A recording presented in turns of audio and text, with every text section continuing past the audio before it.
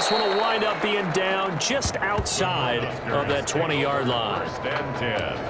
At their own 23-yard The offense back out there at the line, ready for their next drive. And three timeouts remaining here defensively, but really not much reason to use them at this point as this one is all but over.